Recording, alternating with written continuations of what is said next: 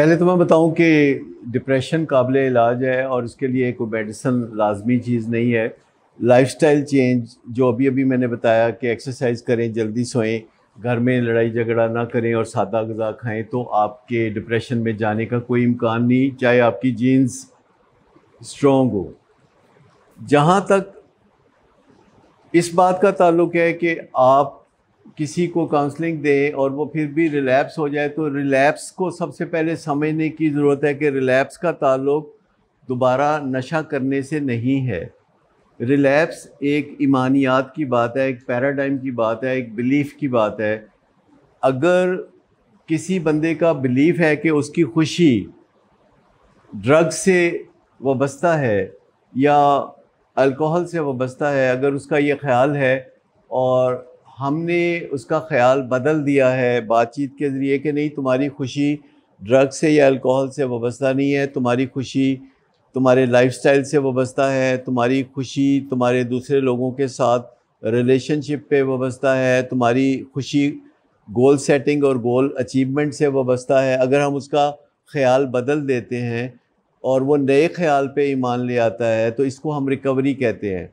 लेकिन अगर वो वापस नशा कर लेता है मतलब वापस प्रायोरिटी उसकी ड्रग बन जाती है तो इसको हम रिलैप्स कहते हैं। आपने ये जो लफ्ज़ रिलैप्स इस्तेमाल किया है, इसको उर्दू में इर्तदाद कहते हैं। इर्तदाद। इर्तदाद का लफ्ज़ मुर्तद से आता है।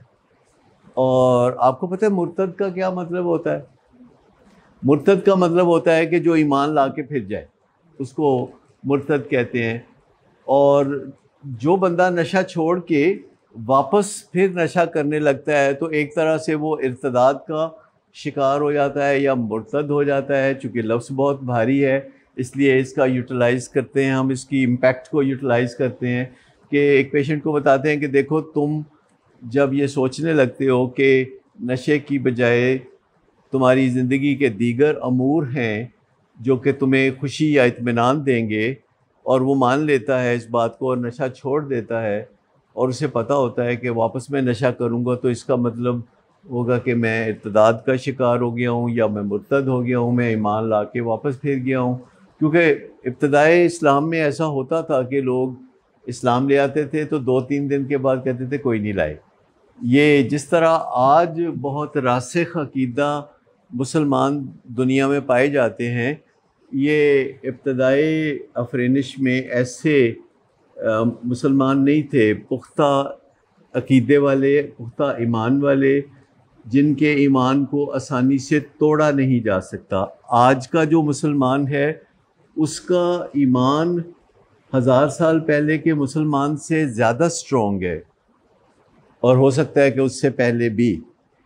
तो जब हम नशे की बात करते हैं तो इसमें भी एक ईमान है कि मेरी खुशी और इतमान नशे के साथ वाबस्ता है। और इसमें हम कई और चीज़ों के साथ भी वाबस्ता करते हैं। कुछ वर्कहलिक होते हैं, वो अपने काम के साथ अपनी खुशी को वाबस्ता समझते हैं। कोई लड़का किसी लड़की को कहता है कि मैं तुम्हारे बगैर रह नहीं सकता और मेरी खुशी और हर चीज़ का तुम्हारे साथ ताल्लुक़ है। तो ये भी वही एक एडिक्टिव बिहेवियर है। इस तरह और बहुत सारी चीज़ें हैं। लोग अपने प्रोफेशन से बाज़ात इतना अटैच होते हैं कि जब वो रिटायर होते हैं तो वो पैरिश कर जाते हैं। तो जिस चीज़ के बारे में भी हमारा रिलेशनशिप ऐसा बन जाए कि हमें लगे कि उसके बग़ैर हम खुश नहीं रह सकते तो ये एक एडिक्टिव बिहेवियर है। तो खुशी का दारोमदार जो है किसी एक चीज़ पे नहीं होता। दुनिया में छः हज़ार चीज़ें ऐसी हैं छः हज़ार, जो इंसानों को खुशी देती हैं। और उनमें से बहुत चीज़ें तो बहुत अजीबो गरीब है। जैसे कई लोग पहाड़ों की चोटियों को सर करते हैं, कम ऑक्सीजन लेते हैं, खाना नहीं मिलता, सर्दी गर्मी सहते हैं, पहाड़ों की चोटियों पे जाते हैं, इससे उनको खुशी मिलती है।